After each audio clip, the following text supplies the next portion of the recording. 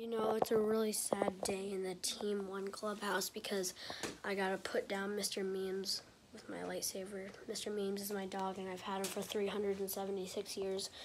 Yeah, he's still breathing, but he's not alive. Um, cause uh, Thanos took all of our memes away. So, well, yep, he's yep. There he goes. Uh, I'm sorry, Mr. Ruffles, but it's time to die. It'll be over soon. Oh my god.